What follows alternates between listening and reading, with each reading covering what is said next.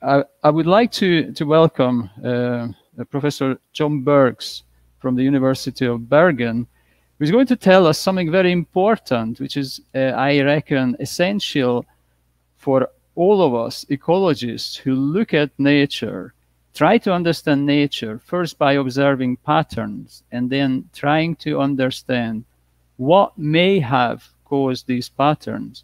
So I reckon it's absolutely essential first to look at how these patterns in the first place came to be. And for that, we need to look back at past changes. So, John, please, I pass you the, the floor and uh, we look very much forward to your uh, uh, lecture. Uh, thank you, Laszlo, and thank you for the invitation. I'm going to talk about what's been called quaternary botanists, quaternary botany's major conundrum. Now, you might, to understand that, we firstly, obviously, I'm going to consider what is a conundrum, then, because you're ecologists, I'm going to tell you a little bit of quaternary background and some evolutionary background. Then we consider the questions of speciation in the quaternary, the last 2.7 million years, persistence and adaptation, extinction, or the evolutionary process of stasis, and then what has actually gone on in the quaternary, namely migration, a few conclusions, and some future directions. So a conundrum, it's a rather fine word. It means a riddle, a hard question, a dilemma, something that's very difficult to deal with, uh, a puzzle which is difficult or impossible to solve. In other words, a big problem, and it may not be possible to solve it, but in this talk I shall try to give it a try. Now, because the quaternary botanical literature has its own terminology. There are certain terms that or abbreviations that I will use. And so these are this is thousands of years, millions of years. BP means before present, which is actually 1950 in the Common Era. LG last glacial, last glacial maxima, we'll talk a lot about those what we live in, the post-glacial or the Holocene. UVB I shall talk about, solar ultraviolet radiation. Q-time, which is an abbreviation just for the time of the quaternary. And we should also mention so-called marine isotope stages. So the quaternary as background, it's the last 2.6 million years of Earth's history, and it's been a time of very marked climatic and environmental changes. Large terrestrial ice sheets started to form in the northern hemisphere about 2.75 million years, resulting then in a series of multiple glacial and interglacial cycles, which we now know were driven by variations in the orbital insolation on timescales named after the mathematician who worked it Milankovitch, of 400, 100, 41 and 19 to 23,000 years. So there's a sort of a consistency, a cyclicity. Glacial conditions account for up to 80% of the quaternary. And the remaining 20% consist of the shorter interglacial periods where conditions were similar to or slightly warmer than the present day.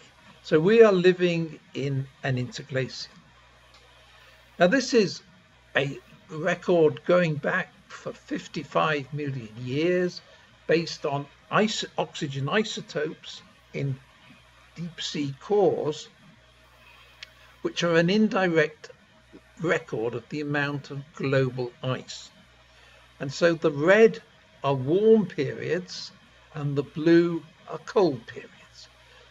So you see, as we go through the tertiary the climate is generally cooling, then when we reach the Quaternary or the Pleistocene, you see the number of uh, blue cold periods are progressively increasing. Those are the glacials, and these little spikes are the interglacials, what we live in today. So at a more detailed level, over 450,000 years, global ice volume, you see, so when this is expressed as the sea level, when you've got low values like here, which is a glacial period, high, which reflects high ice volumes, uh, then we see that the carbon dioxide was correspondingly low. So here it's where we are today and how carbon dioxide is progressively increasing due to human activity.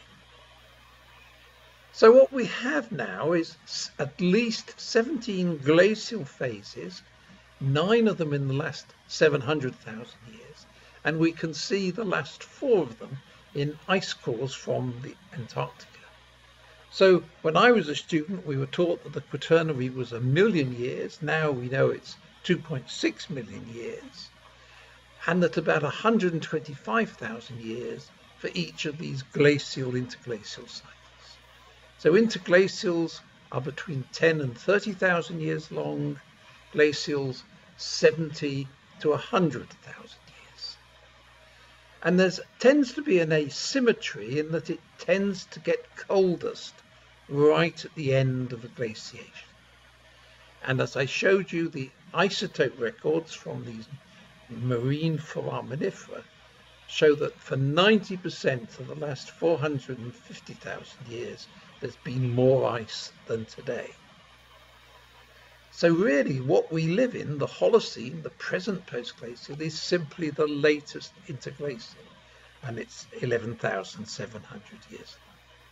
So we have to accept that the glacial environment is the norm, and that interglacials, what we live in, are unstable interruptions.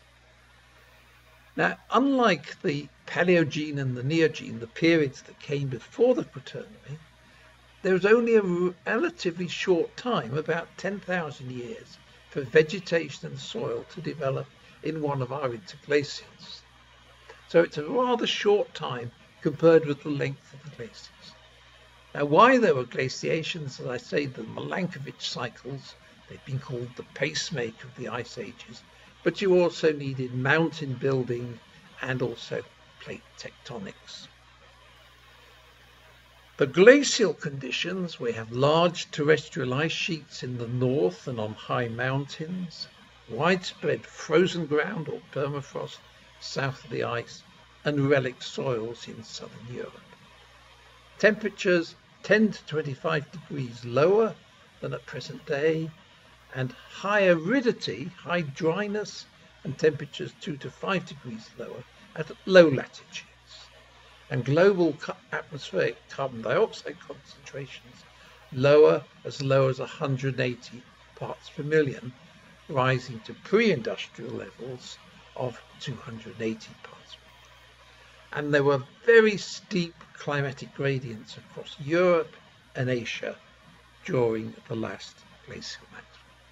So this is a schematic diagram of Europe. I'm afraid many of my examples are from Europe. Ice, then south of the ice, there was then tundra going progressively into steppe and then small areas of forest in and around the Mediterranean basin. And this is an artist's impression of what it would have looked like with large vertebrates grazing, and a variety of plants of, that today you would find in mountains or in very dry areas. And this picture taken in Iran is the possible landscape it would have looked like in Central Europe. Open, dry steppe with lots of Artemisia and Amaranthaceae and lots of wind-blown loess, very fine, silt. Now, that's the quaternary background. Now the evolutionary background. Now in Darwin's On the Origin of Species, where he discusses geographic distributions and an extended commentary on the effects of the Great Glacial Period, he suggests that plants and animals spread southwards during times of increasing cold and then spread back north during the following climate warming. And you've got to remember, in Darwin's day, the idea of multiple ice ages was by no means established. And so he wrote the Arctic forms during their long southern migration and remigration northward will have been exposed to nearly the same climate and is especially to be noticed, they will have kept in a body together. Consequently, their mutual relationships will not have been much disturbed and in accordance with the principles inculated or discussed in this volume, they will not have been liable to much modification. So Darwin already realized that species weren't changing during these cold periods, but he came up with the idea that they ch- hadn't changed because they stayed together and so always experienced the same environment. So this the most significant part of Darwin's passage is this idea that things, climate changes, would not have caused modification because species shifted their distributions so they remained together. And as we shall see, what the quaternary record, the botanical record in particular, shows is that this did not occur, that species responded individualistically, differently, and created assemblages in the past with no modern analogues today, and as we are seeing, will create assemblages in the future with no current analogues today either. So the major theme in Darwin's great work was how to link the processes you could see today to patterns in the fossil record to give us a coherent theory of evolution. And Darwin's link was challenged by the paleobiologist Niles Eldredge and the late Stephen Jay Gould with the view the fossil record showed long, long periods of little change interspaced with brief periods of rapid change, what they called punctuated equilibria. And that's when speciation took place through geographical isolation, allopatric and peripatric speciation. So Gould proposed an evolutionary theory that had three separate levels of time. Ecological moments, natural selection, geological time in millions of years, speciation through geographical isolation, isolation, and then mass extinctions. Now, the fossil record clearly shows us that once diversification began on a major scale in the Cambrian, it was not continuous. There are periods of dramatic increase, interspaced by sometimes of major setbacks, or periods of relative stasis or stability. So they saw, this is Gould and that's Niles Eldredge, the history of diversity is one of radiations and stabilizations punctuated by mass extinctions. And they called this their punctuated equilibrium. So this is how Gould saw it. The first level microevolutionary change through natural selection, what Darwin was concerned about, geographical isolation due to uh, tectonics, creation of islands, and this would lead to speciation, mainly by isolation, hence allopatric speciation, and then, of course, and we now know at about every 26 million years, mass extinctions with lots of species and higher taxa. So, is this a complete picture? What about the quaternary? What about quaternary oscillations? Now, the Quaternary has been long assumed to be an important period for genetic diversification and speciation. And it was based on the premise, and this I was taught as a student way back in the 1960s, was that quaternary climate conditions favoured the isolation of populations and hence led to allopatric speciation. So this basic idea of quaternary ice age speciation had these had two assumptions that the responses to climate change during the Quaternary were significantly different from those of other periods in Earth's history, and that the mechanisms of isolation during the Quaternary were sufficient in time and space for genetic diversification to result in speciation. So what can our quaternary paleobiological record tell us about speciation, extinction, adaptation and migration in quaternary time? So what effects did these ice ages with multiple long glacial stages and intervening short periods have on quaternary biology? And I, I'm only discussing, I'm only qualified to discuss plants and the quaternary of Europe and North America. So I apologize that there's absolutely nothing about uh, South America. So, speciation. Now, despite the enormous advances in phylogenetics using DNA of ex present extinct and the development of many evolutionary trees, there is, as far as I know, little or no evidence for plant speciation during the last two million years. Now, it must have occurred, for example, to create the numerous neoendemics that we get in tropical and mountainous areas, but there are no available data. Now, there are two explanations, possible explanations. Firstly, our fossil data are incomplete. They're based largely on pollen, and so pulses of genetic diversification and speciation would simply go unrecorded in the fossil record. And here molecular techniques are potentially valuable, but they need a well-calibrated molecular clock. The other explanation is that the isolation in these cold stages, the glacial phases, was simply too short in time for these speciation events. So you might say, well, why don't we go to deep time before the Quaternary to see what was happening?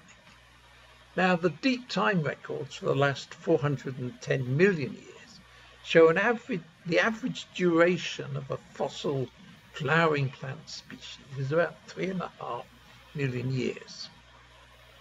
And new species occur about every 0.4 million years. So that's one new species every 10% of an average species lifetime. So speciation events will occur on average about once in every 760,000 generations. So it's therefore quite possible that there's no apparent increase in speciation rates in the Quaternary because the duration of geographic isolation was simply too brief, especially for trees. The period would be about 70 to 100,000 years, and these simply isn't long enough. So therefore it's important to consider speciation patterns not in the Quaternary, but over the much longer period of the last 50 million years, the onset of what we call current icehouse Earth. So here, some work by Kathy Willis and Karl Niklas shows the origin, origination rate of vascular plants from 400 million years to today, and we see that the angiosperms about 40 million years ago really started to speciate. Extinctions, we see a similar peak of extinctions, but of the gymnosperms and the pteridophytes, the conifers and the ferns at about the same time. And these, was, these were occurring, this is a climate curve for the last 70 million years, where these, these extinctions were beginning to occur as ice was building up in the southern hemisphere. So this, at the scale of one to two million years, we're simply not, our data are not good enough to detect these sorts of patterns. Now you've got to remember that icehouse Earth, glacial ice Earth, is not confined to the Quaternary. So over the last 600 million years, there have been at least three intervals of icehouse Earth with widespread continental glaciation, global cooling, and increased dryness and they're at the Cambrian, the Carboniferous, and in the Cenozoic, the Tertiary. So are these speciation rates during these icehouse intervals different to those in the, the greenhouse periods? So here again, another plot from Kathy Willis and Karl Niklas. This is speciation rate. And we see that speciation rates greatly increased during these ice house periods. And this may have resulted from environmental changes operative on timescales much longer than our Milankovitch cycles. For example, elevated ultraviolet B levels associated with mountain uplift and with volcanism. And here, Kathy and I have calculated this is for the last 50 million years, the amount of UVB in the summer that would be received on the Tibetan plateau. So you see from 50 million years up to the present day, it has greatly increased as the plateau has been uplifted in response to Himalayan so, and the endemic plants that one finds on the Tibetan plateau are very much at high elevation. And the late John Flenley had this very nice diagram. This is showing how lowland vegetation, this is the distribution of lowland species. In a warm phase, they come up the mountain. This is with normal ultraviolet B, which is highest at high elevations and decreases whereas in a cool phase, the lowland species are forced down. They now mix, so you get uh, mixing, and of course, because of the volcano, there's greater ultraviolet radiation. So, not much evidence, zero evidence, in fact, for speciation. So, what about persistence and adaptation? Now, many plant populations today show some sort of differentiation along latitudinal or elevational gradients. And so this probably occurred during glacial and interglacial stages. So is there any quaternary paleobotanical evidence for persistence, evolutionary adaptation, or phenetic, phenotypic plasticity? Now there are, in terms of persistence, some very long-lived trees greater than 100 uh, 100, thousand years. These are all conifers. This is the bristlecone pine, Pinus longaeva in the White Mountains of California. And they have tolerated a huge range of environmental changes. Some tree populations have persisted in their last glacial maximum hideout or refugium. For example, here, the Vikos Gorge in central Greece which supports nearly every northern and central European tree species today, plus endemic Greek plants on the cliffs.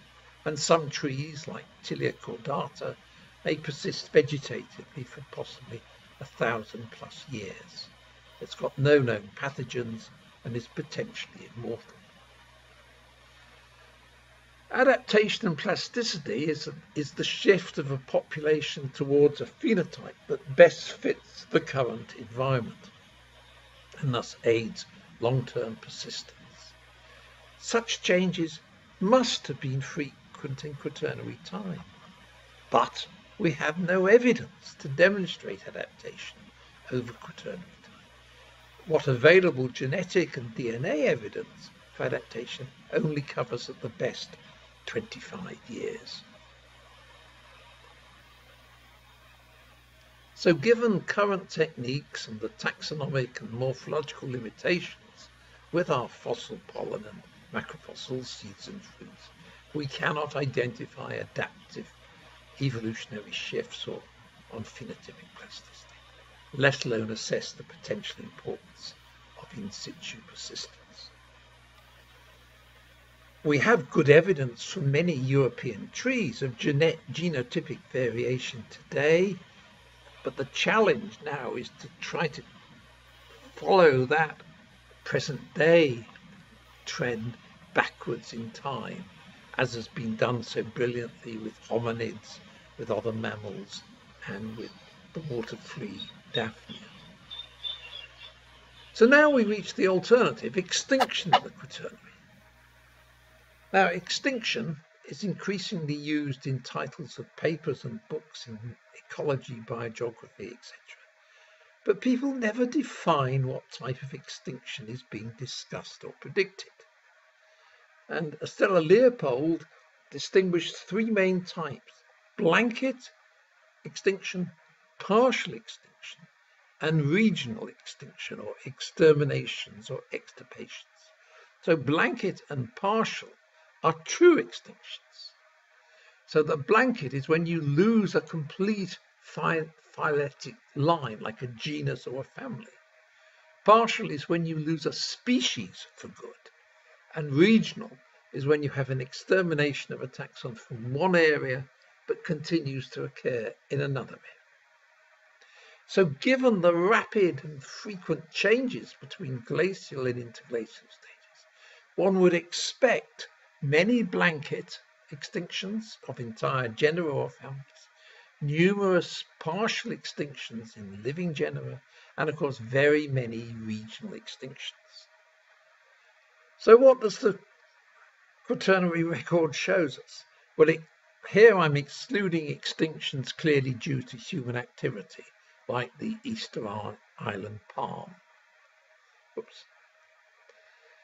Now, to understand extinctions, we need to use not pollen, which is rather crude, but plant macrofossils, seeds and fruits, and because they, they can often be identified at a greater taxonomic level. So this is a compilation, it's a rather complicated thing, but going from the late tertiary through into the early quaternary to the middle Pleistocene. And these are the different interglacial stages and brilliant work done in Poland and Belarus using macrofossils has shown that in fact there's only been in the quaternary up to the middle quaternary one blanket extinction various partial extinctions and of course some regional extinctions so one blanket extinction many partial extinction extinct taxa but they're nearly all aquatic plants.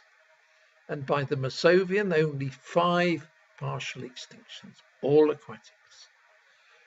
So it's a small number of regional extinctions in these interglacials, and these are plants that today mainly occur in Southeast Asia or Eastern North America. There is, of course, this spectacular example in southeastern United States, the partial extinction of Picea critchfieldii, which occurred between about 16 and 10,000 years ago. It was in places like uh, Georgia, Mississippi, and so on, and it probably occurred as a result of rapid climate change. So glacial stages, they're highly dynamic with cold, dry periods and much variability. And these fluctuations during glacial stages may have been responsible for some of these extinctions. As regards European trees, here we are going again from the tertiary. This is the progressive loss of taxa. This is now the onset of the quaternary. And so in Northwest Europe, there'd have been 91 uh, tree taxa in the Miocene and only about eight today. And there are those that are now regionally extinct in Europe, but they nearly all occur in North America or Asia. There are some that hang on in Southern Europe, and then these are the widespread trees and shrubs in Europe today. And when we look, as Jens Christian Svenning has done, at these widespread relict and regional extinct, they actually differ in their climatic tolerances today. So widespread taxa tolerate mean temperatures less than zero. Taxa with a tolerance greater than two and a half are either regionally extinct or relictual. And then the relictual taxa occur where there's more a certain amount of precipitation. Of course, the other type of regional extinction or extermination is the alpine plants, the mountain plants at, in the last glacial maximum. And these are familiar alpines, commonly found as fossils, but nowadays are mainly in the mountains. And of course, these, I'm afraid, are all North European taxa. But one of the most spectacular is this minute member of the Polygonaceae. It actually occurs, I've seen it in Patagonia. It also occurs in Terra del Fuego, is Koenigia islandica. The yellow is its present day distribution. The blue circles are its late glacial. And you see it was actually, this is the extent of the ice, it was growing south of the ice, pardon me, in Central Europe. And I've spent many an hour thinking, well, it must occur in the Alps, but I haven't, nobody has ever managed to find it. There are quite surprising extinctions in the Holocene for no obvious reason. Uh, trees from Spain, trees in the Swedish mountains, aquatic plants, and the common Scots pine from Ireland and from many of the Scottish islands.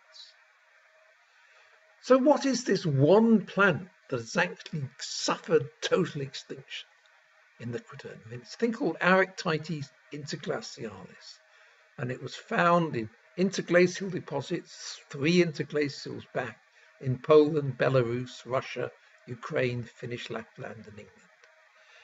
Nobody is even sure what family of plant it belongs to.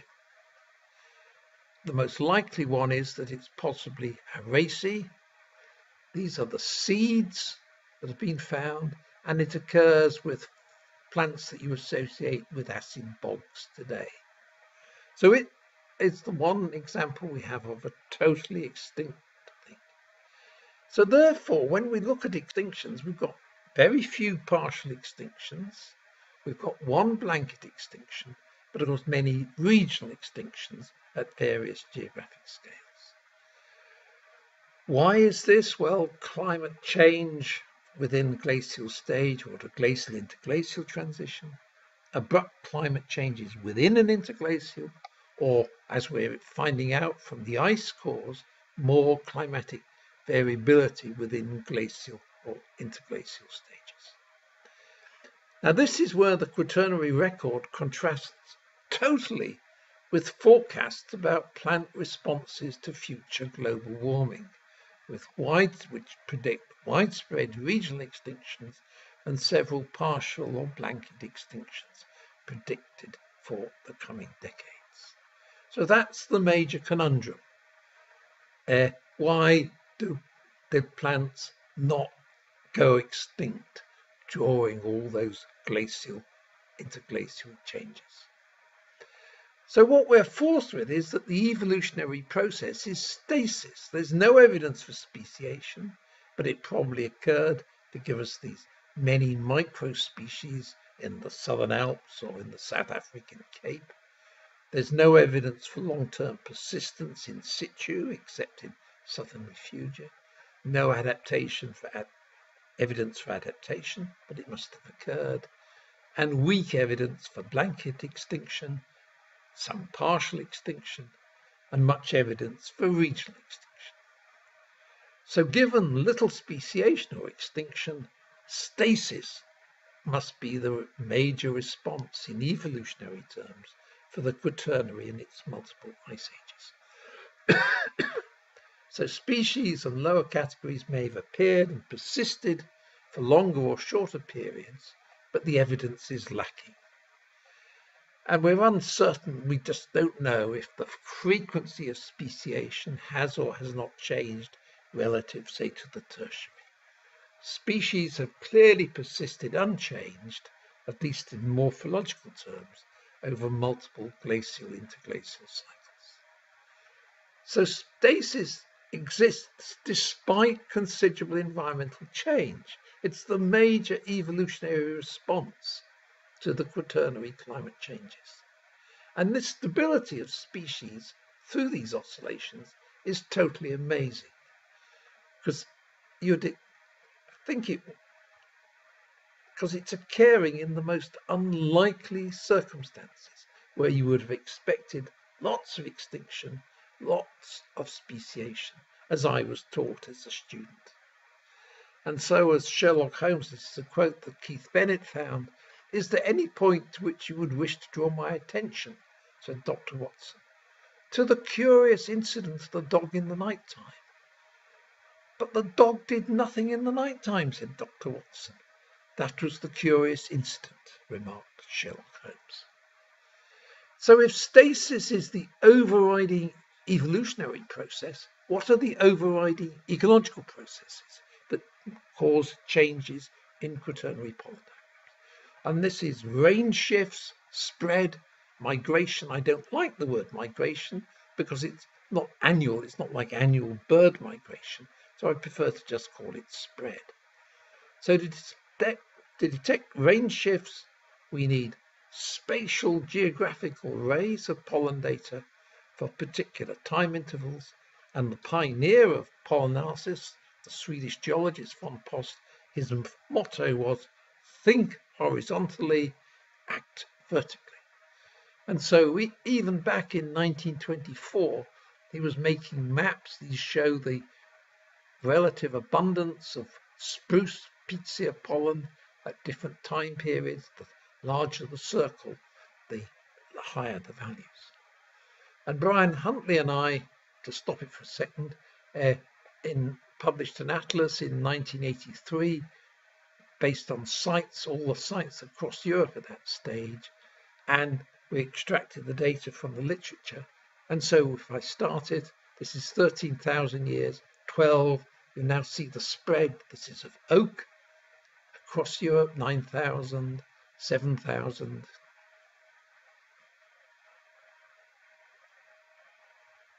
To thousand. Or for the case of Fagus, the beech,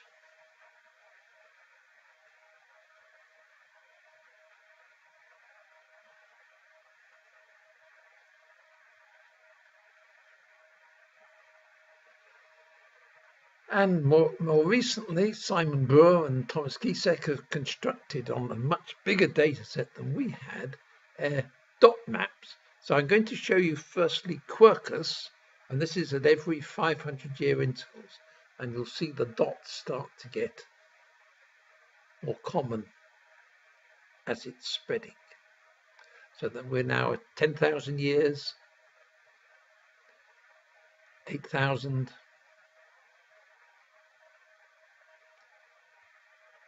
five thousand.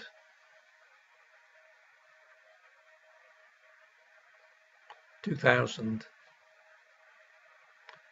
And today. And then similarly for Fagus the beech, very scattered. 12,000 10,000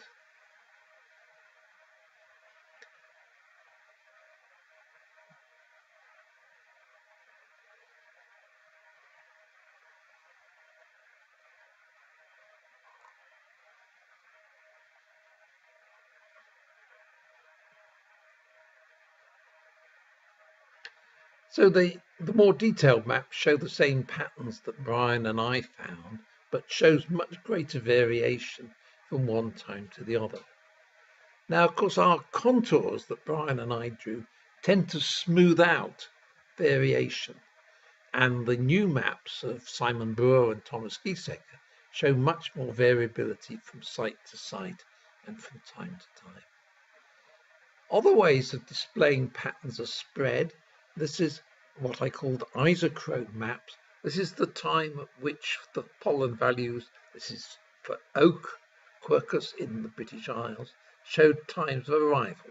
So nine and a half, nine, eight and a half, and then it slows down as it gets towards its northern limit in Scotland. Or Fagus that came in late and then spread and reached this far by a thousand years ago. So from these maps, we can estimate rates of spread. And so you see this is in meters per year. And these are quite staggering rates of spread of trees.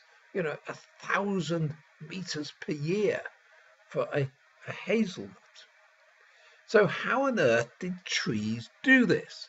And this led to what's called Reid's paradox. He calculated that for an oak tree it would need a million years to reach southern Scotland without some help from birds, or squirrels. And there are several alternatives. This is one scenario. You have this moving front continuous wave. You have the far distance event like whoomph, or you have small local populations then expanding out, or then emerging of small and local and large populations.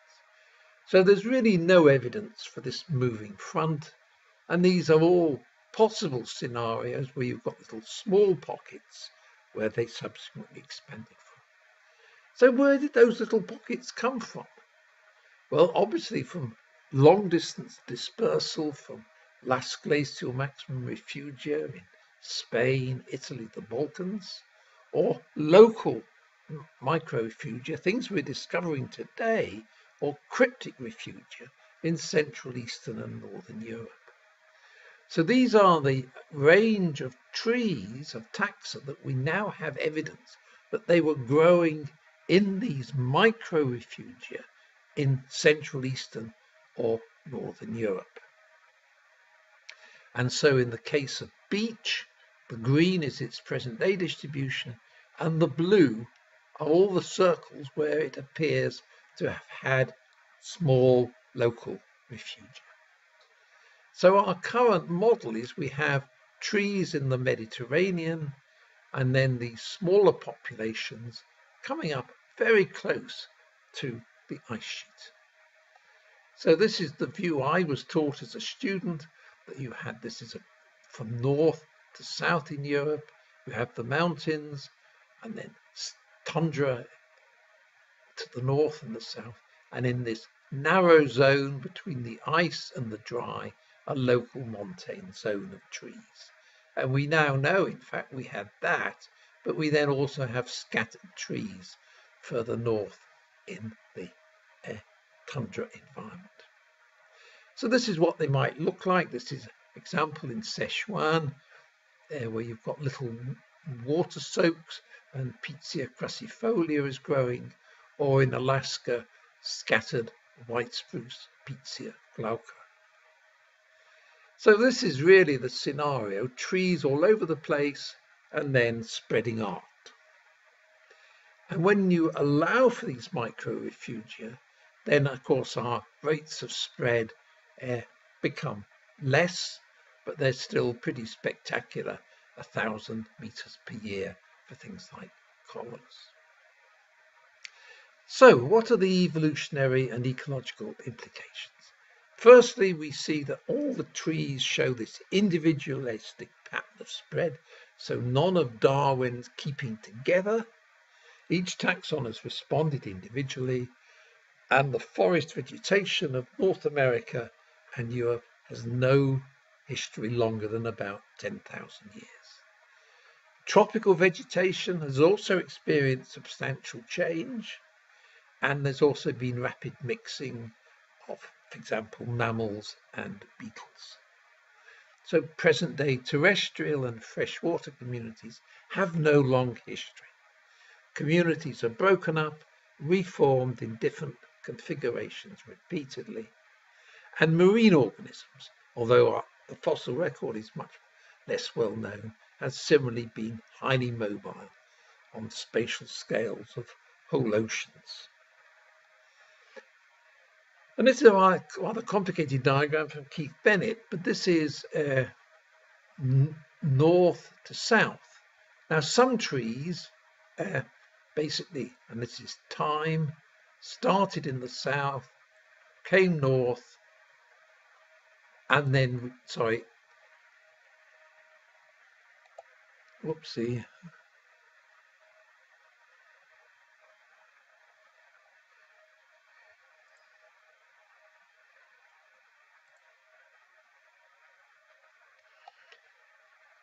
whereas other trees started in the south, went north, but then retreated again.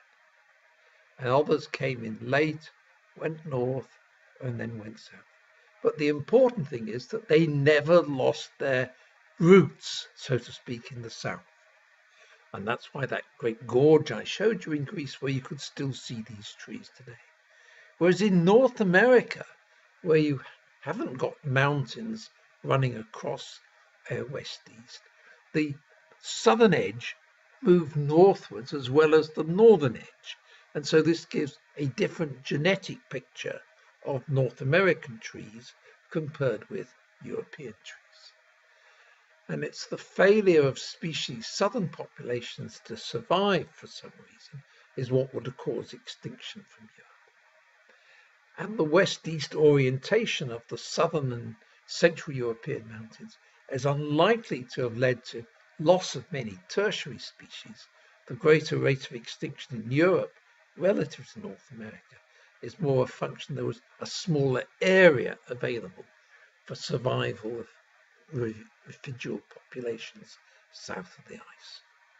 So tree diversity, biodiversity today is a result in part of Quaternary history. So conclusions. The Eldredge Gould view of long periods of little change with brief periods of rapid change and Steve Gould's ecological moments, geological time and macroevolution and mass extinctions. And all this got challenged by my former student Keith Bennett, who wrote this wonderful book, Evolution and Ecology, The Pace of Life. And he su su suggested that if these Milankovitch cycles have been going on throughout Earth's history, they've always been causing disruption genetically and of species distributions. And as species responded individually to changes forced by Milankovitch cycles, they would have, in the Quaternary, they would have responded in the same way in pre-Quaternary Milankovitch cycles. And these cycles affect Earth on timescales much longer than the generation times of any organisms. So ecolog over ecological time with a relatively stable climate, adaptation and microevolution by natural selection may take place. But as the climate changes in response to Milankovitch cycles, the communities break up and new communities are formed.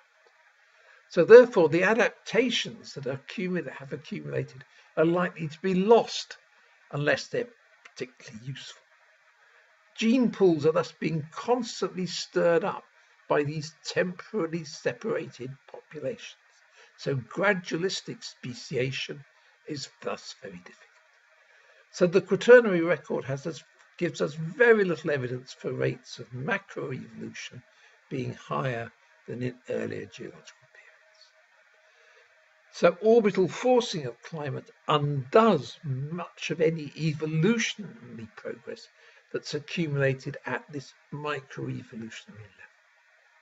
Mass extinctions will, of course, undo it all, uh, but in general, it's Milankovitch that is stirring things up and we lose our records.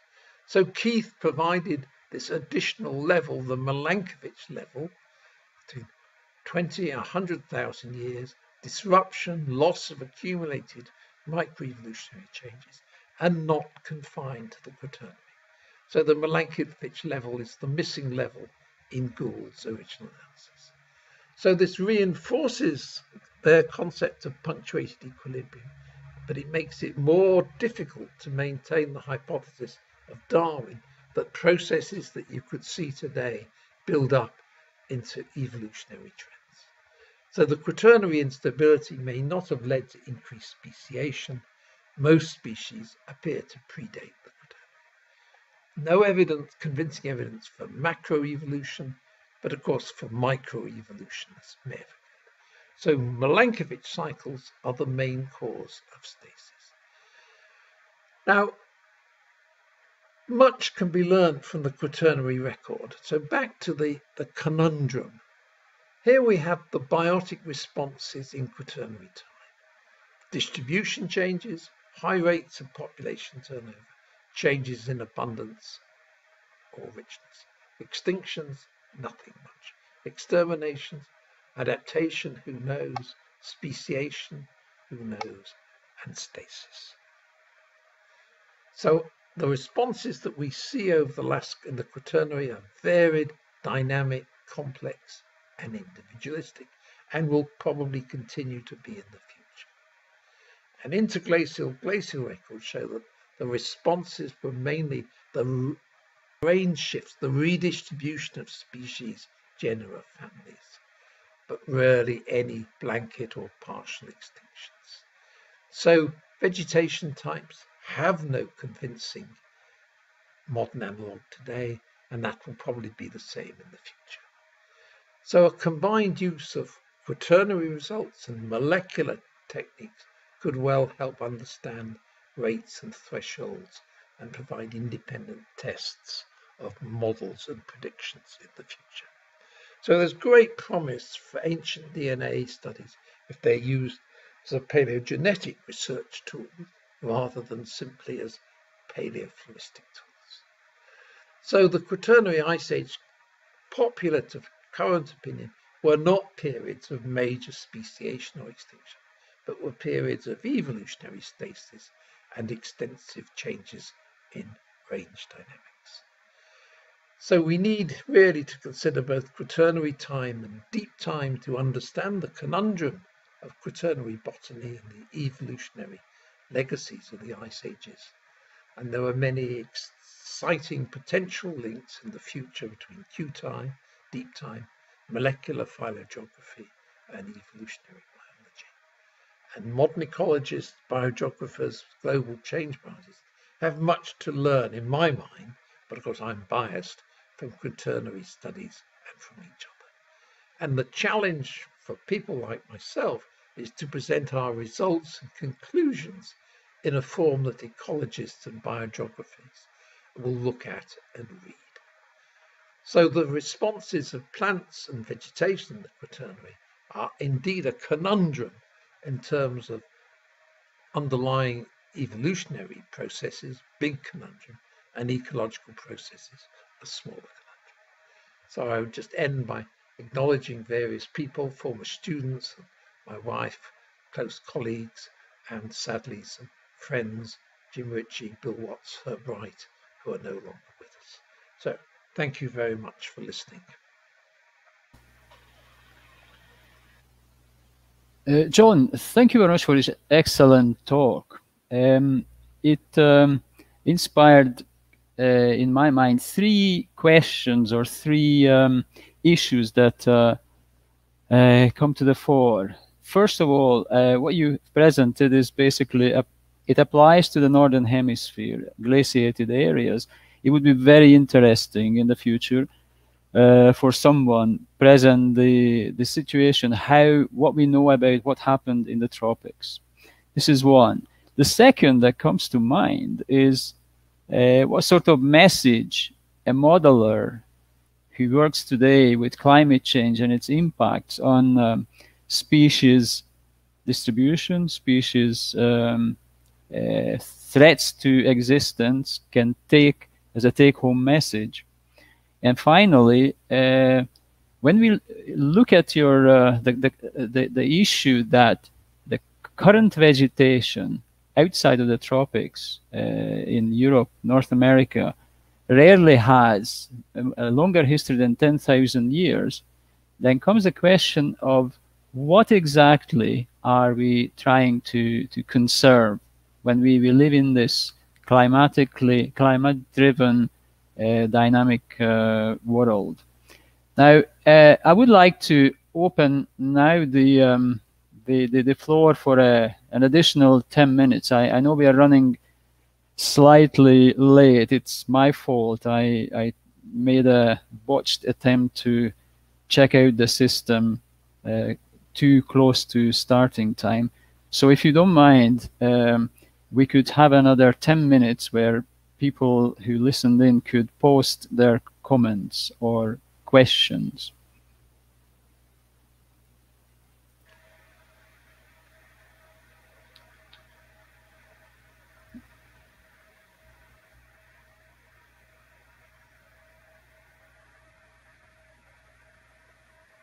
Well, my, I can give you some comments to your three points, Laszlo.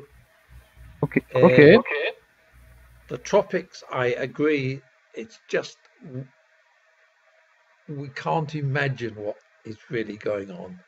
It, you know, it's going to be the great area of development and new ideas. Uh, the modelers, they were actually partly responsible for creating the phrase quaternary conundrum. It was originally proposed by a modeler, Dan Botkin, because their model suggested one thing and the paleo record showed another. And I think it simply shows that A, nature is more complicated than the model suggested. Uh, Christian Körner, for example, has shown the very varied microclimate there is on a mountain top, and the modelers who were predicting things were going extinct were, of course, using climate data at a much coarser scale. So I think the modelers really sort of don't like our findings, but actually ecologists like Christian Körner are showing very much that there is vegetation and species have much greater resilience than I think we've given credit to. As for what we're trying to conserve, uh, that's that's a, a, gigantic question that I'm not really qualified to comment when in fact, as we know, there's very little that's any any great antiquity, at least in the northern hemisphere.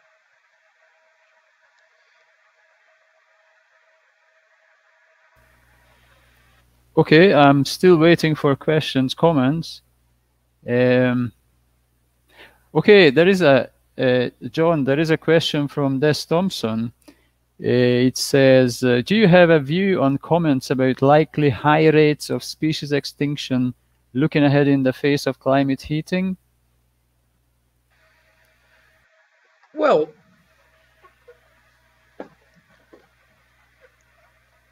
one of my colleagues in Bergen, John Arvid Grytnes, has done a lot of work on resurveying, I like the sort of stuff that Louise Ross did in the Highlands.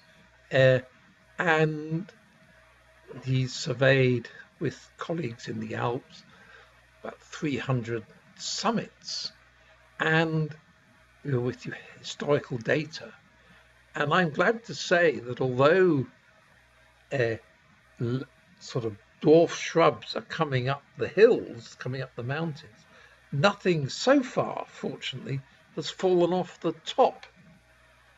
So uh, just what scale of extinction there's going to be, how much of it is due to the micro environment that Christian Körner and so on have emphasized. But of course, I'm here, I'm only talking about plants. I, birds, I realize, are very different.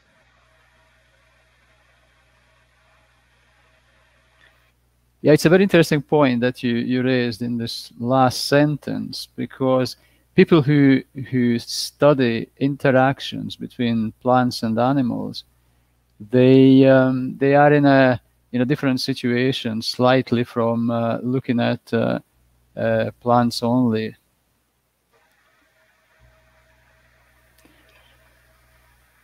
Okay. Uh, last chance for one more question or a uh, comment. Nobody? Nobody from the modeling community?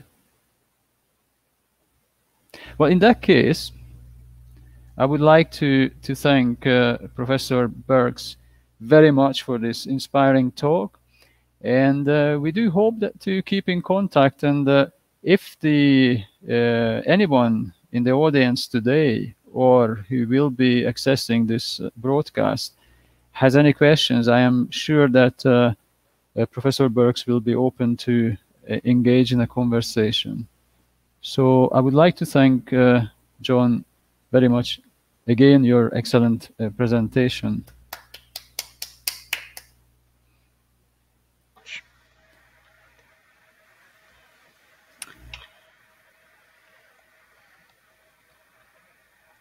Thank you. Thank you. I am going to, uh, end the broadcast now.